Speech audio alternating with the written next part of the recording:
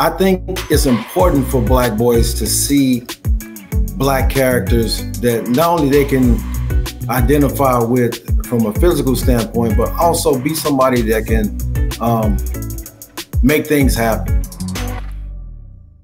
Welcome to Centered. I'm Jasmine Hood Miller, Director of Community Content and Engagement at Common Sense Media.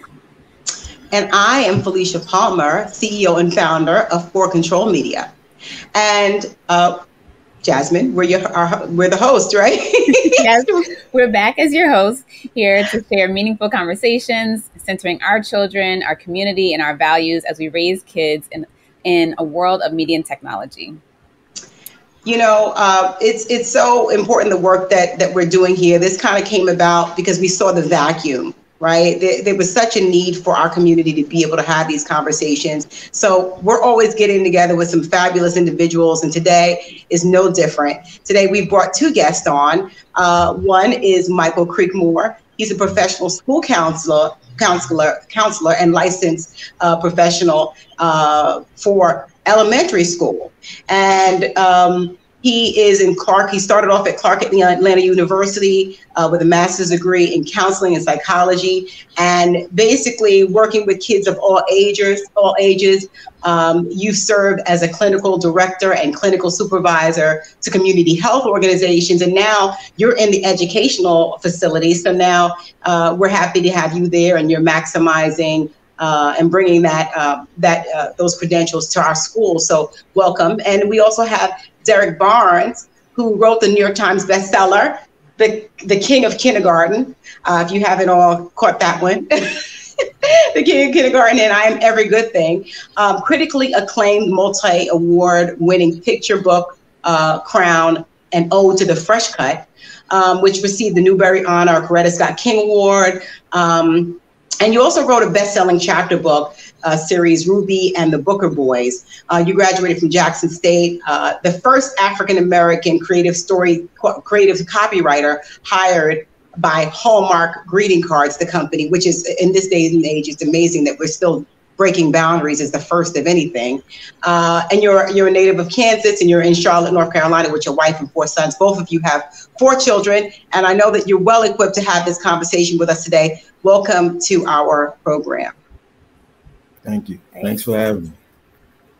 So, Derrick, um, your books are so uplifting, especially for Black boys and now little Black girls too, with The Queen of Kindergarten uh, which just also received, among all of your many other awards, our Common Sense Selection Seal. So, congrats on that. I am a fan of your book. I actually have your books here with my um, my kids, and I say they're like pep talks, right? Like I have three boys, and when my two oldest were getting their first haircut, we read Crowns to kind of hype them up to go to the the barbershop. Same with the King of Kindergarten. My son um, was doing kindergarten virtually at the beginning of the pandemic, and my husband and I wanted to still find some ways to kind of mark those milestones in that strange time. So, you know, with all of these these fun books that you write, where do you get the inspiration and motivation to write books for young kids? Uh, my two top inspirations are first of all my um, four sons. I have like a live-in focus group. Uh, you know, the Mighty Barnes brothers. Um, Ezra is my oldest son. He's 21. He's a senior in North Carolina A&T. Um, Solo is um, 17. He's a freshman at Fayetteville State. Silas, who's the cover boy of uh, Crown an Ode to the Fresh Cut, he, he'll be a junior this year.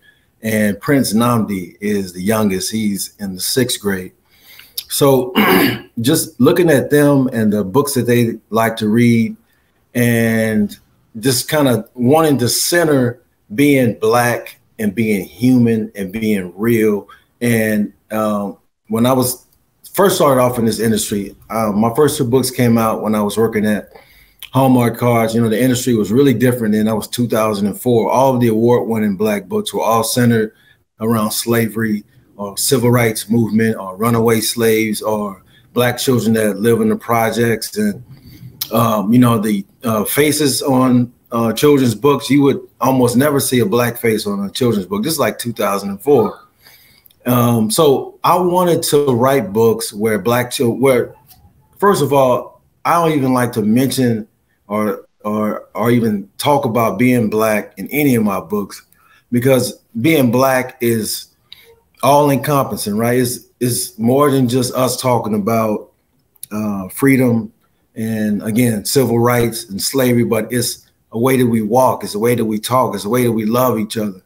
So I always made my mind up that I was going to write children's books where black children and black families are the norm. You know, the norm has always been white children and white families being centered.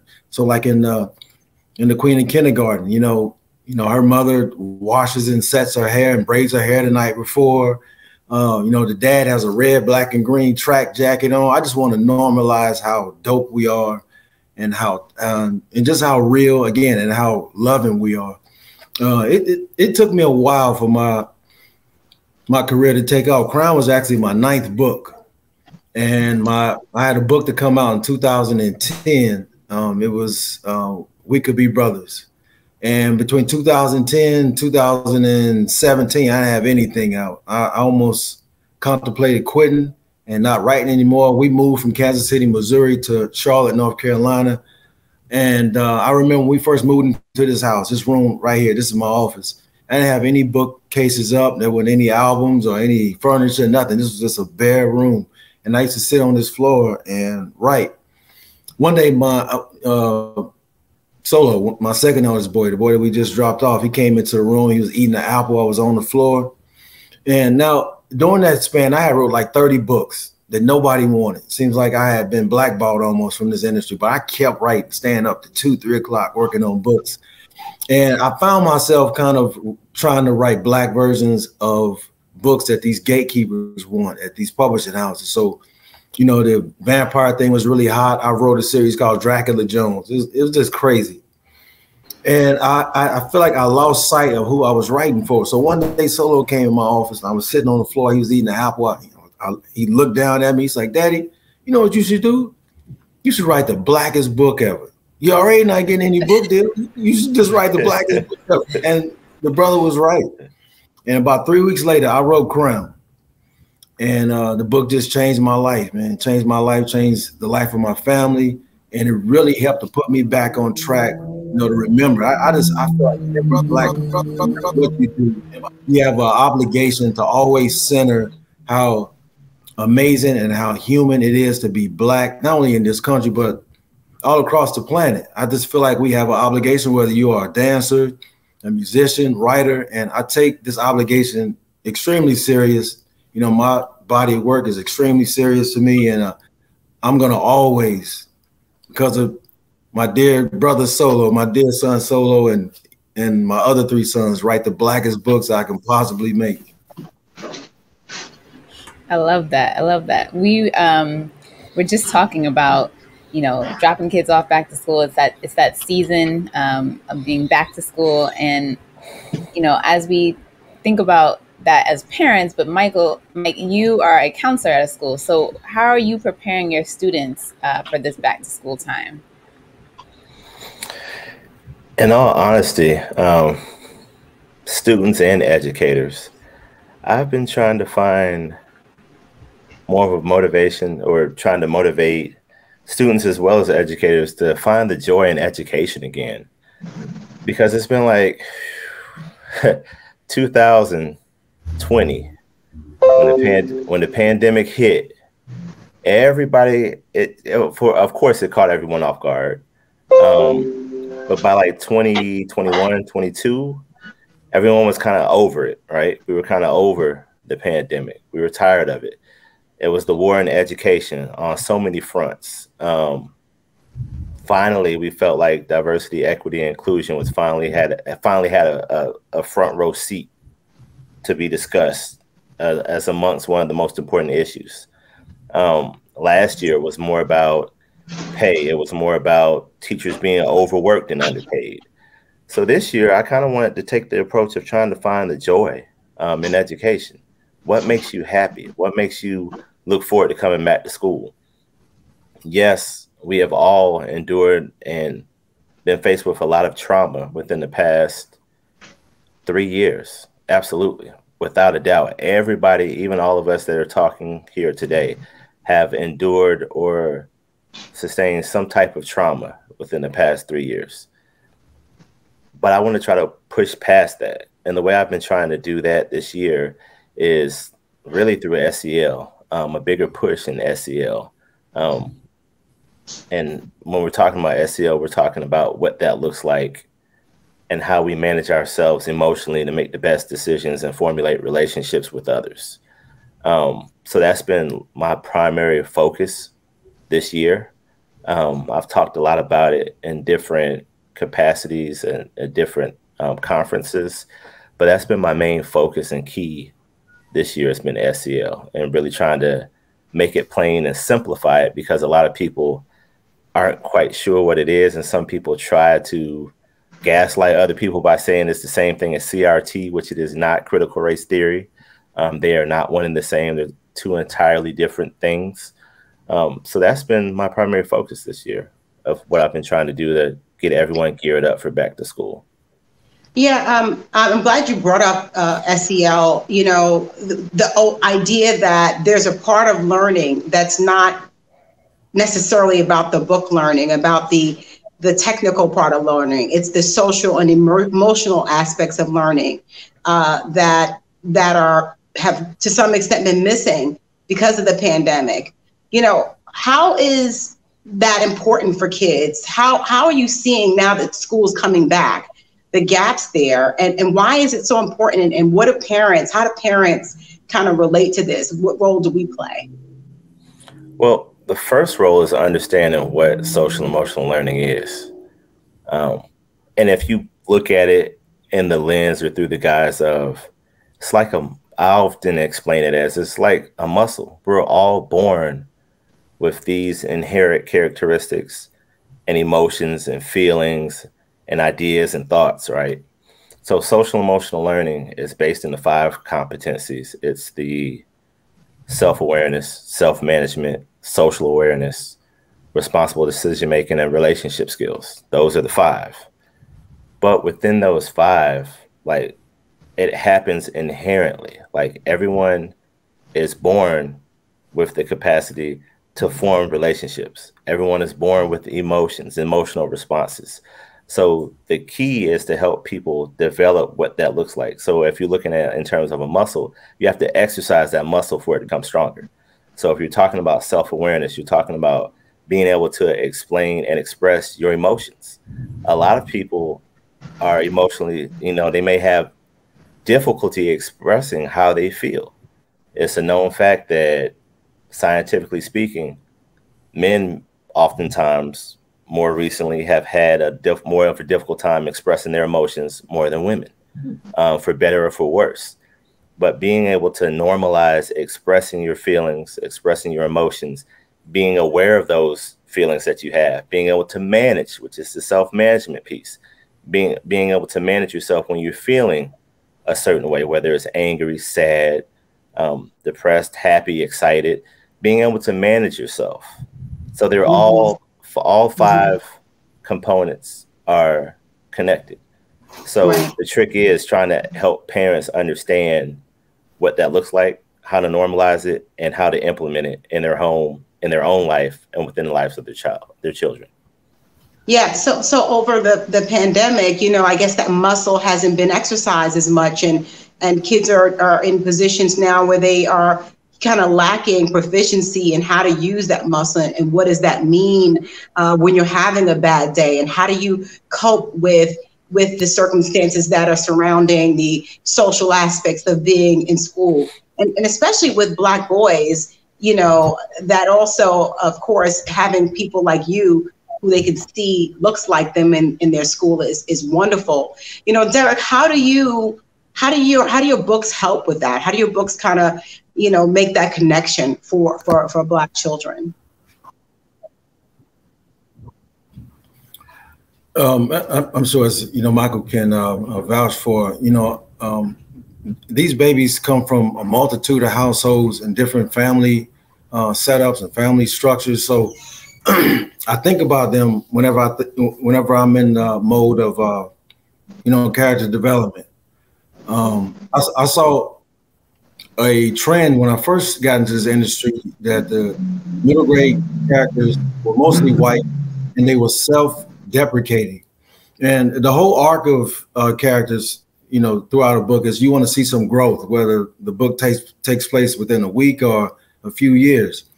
So I think it's important for black boys to see black characters that not only they can identify with from a physical standpoint, but also see somebody that is uh, that has solutions and is going through the whole problem solving, um,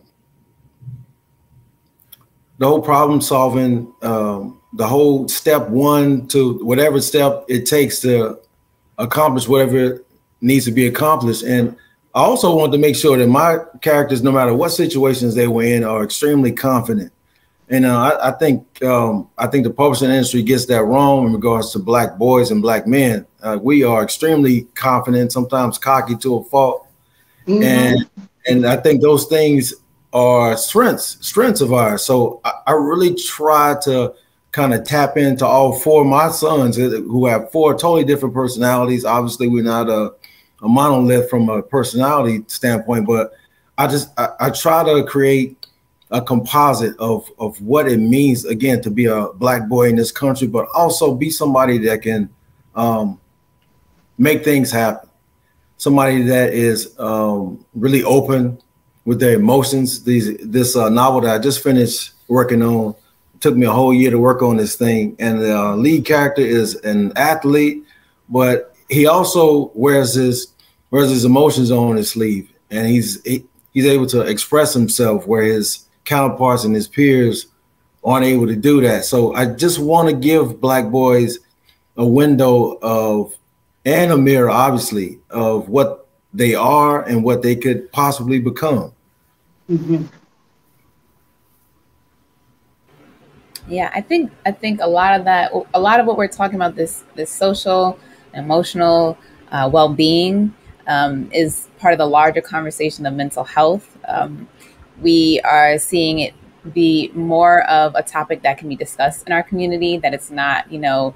Um, as like you know maybe taboo as it once was years ago where we were afraid to, to say that we um, care about our mental health, that we care about our children's mental well-being, um, that we, you know, seek help outside of ourselves and, and within our community.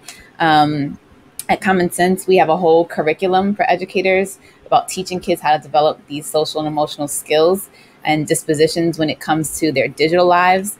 Um, and, and, Mike, when you, as a counselor, um, I mean, use, using your counselor hat as well as your dad hat, like you were talking before about, you know, those those five kind of components of um, SEL and that you know, being self-aware, managing your emotions. What are what does that look like um, as far as um, like helping our kids kind of learn those skills and, and, and practicing them? We were talking about practicing mm-hmm. that muscle. Like what what does that actual practice look like? Uh, well, it starts with the basic understanding of what your emotions are, right? like a lot of times you'll find yourself you'll ask any student on any given day how do they feel most of them will say oh i feel good okay what does good look like good's not necessarily a feeling so i think it starts there like with teaching our students like emotional responses like what is what is an emotion like talking about the spectrum of emotion i think that's like the first thing that we need to do the vocabulary. Um, mm-hmm. Yes, the mm-hmm. vocabulary is huge. learning the verbiage is, is extremely important, and that can happen. That can start as that can start as young as pre-K or kindergarten. Mm-hmm. Um, I also think being able to be able to teach in real time, like when something happens. I mean, there's a restorative component in that, um, which that is you know something to discuss at a later time. But I do feel like when something happens in the moment, when you're in school or you're at home as a parent, and you know, Derrick and I probably can both speak to situations where we've been at home and we've had to kind of diffuse a situation that could have escalated. Having that conversation, what could you have done different? Why were you up? It, it seems like you were upset.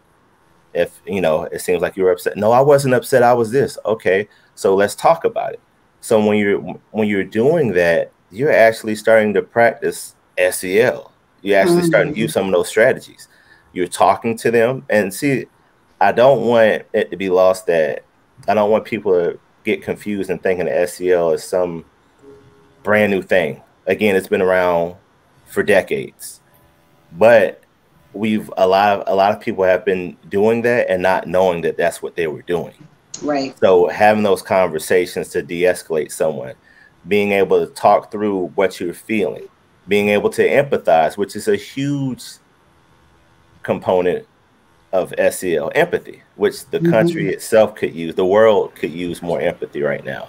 Yeah. So being able to identify someone else's emotions, like all of those things are SEL. So you practice it real time in the moment, or if you if the moment doesn't present itself, you can cut the TV on to any station, like any station now, even cartoons, and there will be something that happens on that TV that you can have a very rich conversation with your children or your students about. I'm not saying that you got to cut TV on in school, but you can still have those rich conversations based on um, but, regardless of what subject you're teaching in the school system. Mm-hmm. So it's it, it's simple. Um, I think when once you simplify it, it makes it easy. You don't want to reinvent the wheel. It's the same way that you would have the conversation with an adult. You would have that conversation with a student or a child. You have right. it on their level, and they learn more through that experience. Right. You know, it, it's uh, it's interesting. You talk about it's it's something that we have been doing, and now they're coming up with terms, and we're thinking, oh, is this something new? But it's it's kind of part of that natural innate thing uh, that we have with our children. Um, I'm just you know wondering in your households, for instance, Derrick, you know how how are you guys instilling these these values of confidence and self-esteem and and really kind of connecting with your children on these this level? Because oftentimes in our community there's also this kind of you know michael you talk about speaking to kids and speaking to them on their level. Oftentimes we have this kind of sensibility that our children are not adults or they not that they don't have that they're not adults but which they're not but that they don't have um, that conversation can't be had with them in a mature way so how do you how do you do that with your children in everyday life? You know, Derrick, is it are you how are you instilling those values of self esteem and confidence and and uh, dealing with their socially social emotional issues? And so much. Um, you know, first I, I think just from an early age, you know, my boys are really small. Is, is um, I really made it a point to make sure that they understood that they are part of a tribe. And so we're going to be accountable to each other. You know, I, I call them the mighty Barnes brothers. And so when I say that, it's like they understand what I mean. We, we're talking about togetherness. There's a little bit of, you know, competition from an academic. Um, of, course, all my boys played uh, um, um, um, sports, but also modeling this um, high level of achievement, morals. You know what I'm saying? You you hear people say all the time that that uh, children pay attention to what you do and not so much what you say. Mm-hmm. And my boys have changed me in so many positive ways. And um, uh, again, it's about it's about accountability towards each other, uh, setting standards for themselves. We we try to meet up every Wednesday and every Sunday you know, before the week starts, sit at the dining room table and and just talk about the goals for the week, talk about what we want to set. I think I think we are maybe like two weeks away from setting these uh, um, school year goals up. So the boys, even my college students now, write down everything they want to accomplish throughout the school year. Put it on your bathroom mirror. Put it on the wall next to the light switch in your bedroom, somewhere where you can see it every day. And and um, we're all we're always about chasing goals, accomplishing goals in this house. Those are the things that wake you up in the morning.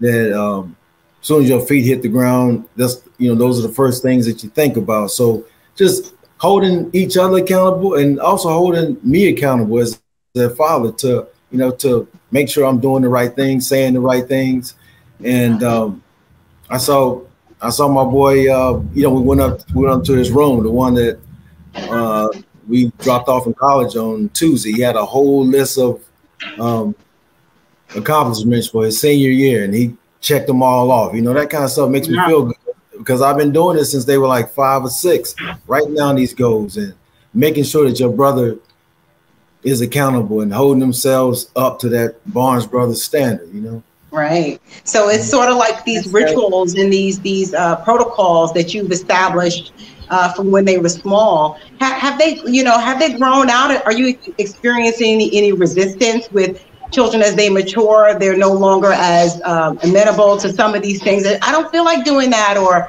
you know, any of that at all. Or I feel like it's on. Uh, it's on cruise control now. I, I went to my okay. eldest boy's dorm at you know A&T. He had some goals set up on his um uh, desk. So I was like, all right, boy. So now we're just on kind of cruise control and you know the things that I used to have to do, I don't have to because the two eldest boys uh, make sure to keep the two youngest ones honest, and my, my third boy, he's always on the youngest boy. So uh, I'm, I'm extremely proud of these boys, and you know it's it's really hard to get boys to express themselves emotionally. They are nothing like me. I'm, I I you know wear my emotions on my sleeves. I think a lot of that just comes from being a creative and they are not creatives. Thank God for that, because I don't want them living in our basement.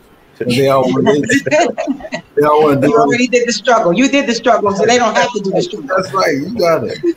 But I always, you know, in a group setting, I always let them understand that you can always come to me, and then privately, I think they all appreciate being pulled to the side. But in a more public setting, when you know when the whole family is together, I, I I'll make sure that they understand that I lay out all these different subject matters in regards to you know, you know, feeling depressed or feeling hopeless or maybe having some other type of issue that is just bugging you out. And we are one of those families that definitely believe in counseling.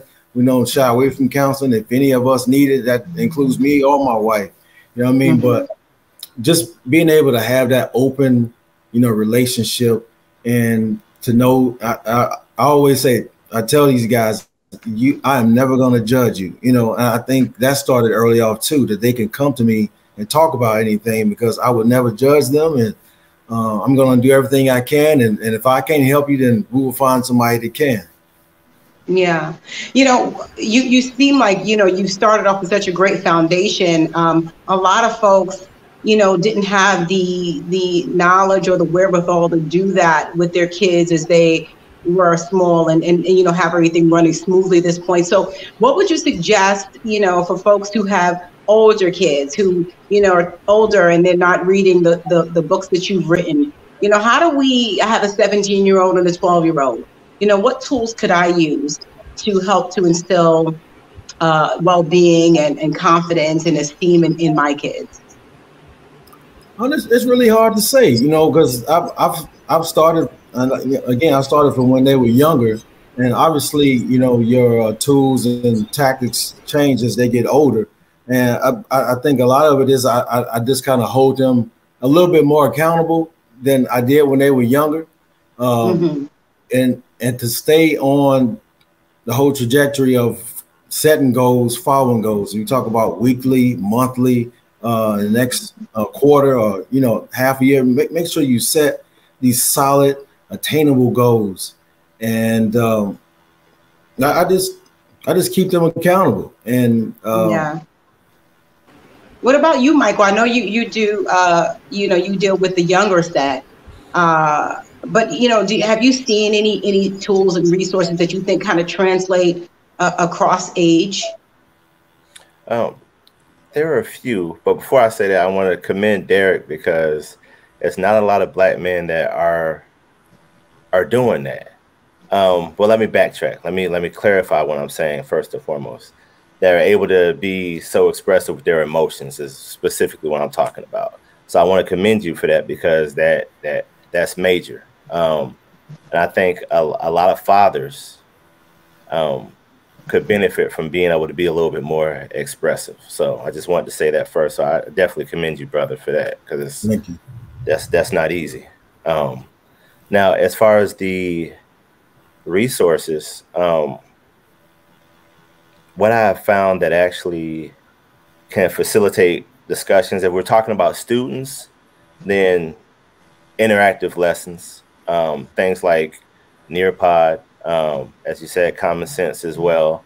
And a lot of it is the dialogue that happens because right. a lot of it is it happens to be a lot of a lot of students now they need that visual. Mm-hmm. Just talking about it is, is, good, but they need the visual to go along with it.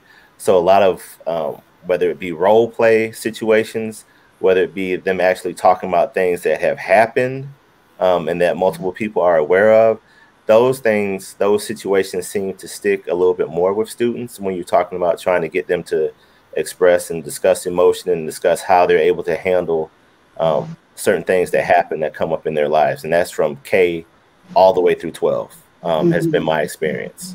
Um, now at home, uh, for me, I'm, I would say a challenge that I've been experiencing has been making sure that my, my children are able to express themselves a little more uh, when it mm-hmm. comes to their feelings.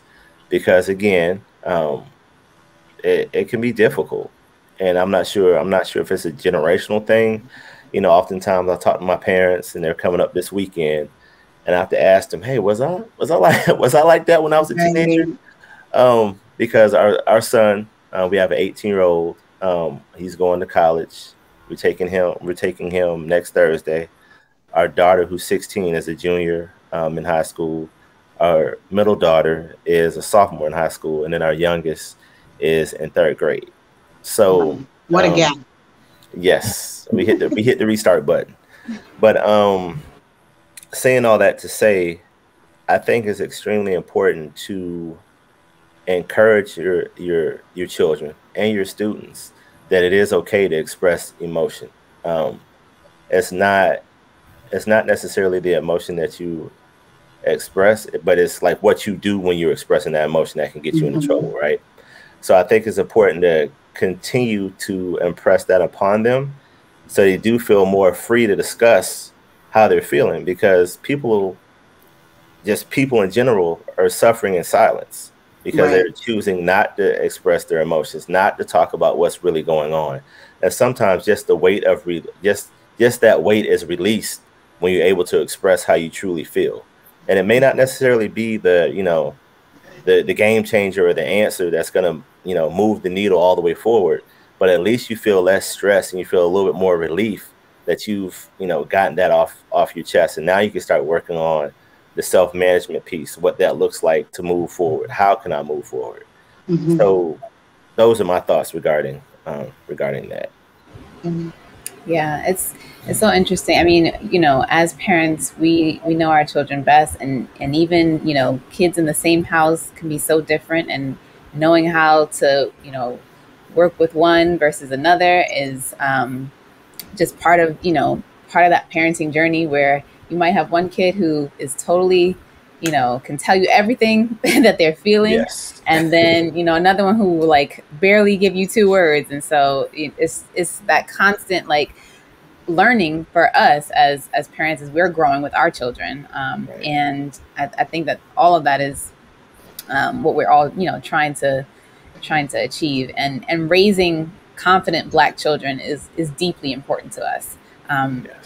Which is why uplifting the the writers the creators the teachers and the artists who are out here giving our kids something to look up to something to aspire to is is a must for us um, Mm-hmm. It's literally why we created this series. We partnered, Felicia and I, to do this series to amplify quality media created by and for Black families. Um, so I want to have one last fun question for you guys. I hope it's a fun question. and um, we, you can each take a turn answering this. And it's when was the first time you felt like you saw yourself in a, a movie or TV show or a book character? Um, where you you felt like you like like that's me or like that that character resonated with you I'll I'll start with Derrick first. Oh man, um, twice actually. Um, I, am I'm, I'm a huge hip hop fan from the golden era. Uh, we're talking about LL, Run DMC, Eric, Eric B. and Rakim. So we're talking about the mid to late '80s, and um, I, know, I'm I'm not a big you know, colorism type of cat, but you know, the light skinned brothers kind of had it on lock, like in the 80s. I'll be sure. I'll be sure. so the first time I saw Big Daddy Kane, I, it, I just it just kind of opened up my whole world because I I was writing in, I was I was a little you know button MC. My name was Dangerous D, you know, in the fourth and fifth grade. So Uh-oh. when I saw Kane, I saw somebody that was really confident. That high top fade, it looked like a crown, and and he was uh he was everything to me. That was I think I think he's probably still my favorite MC of all time. And then when I got in college, um, not Larenz Tate's character, but Isaiah Washington's character in um, Love Jones. Uh, he, he was just ah. real cool back, you know, and and Larenz uh, Tate's character as well. I, I, I felt like that would have been a community or a clique people I probably would have hung out with, you know. So in, in college, I swore I was Nina. I had a I had a camera and everything. I thought, but I'll, I'll, let you answer. My when when was the first time you felt like you saw yourself in, in a in a character, whether it was on screen or in a book or anywhere?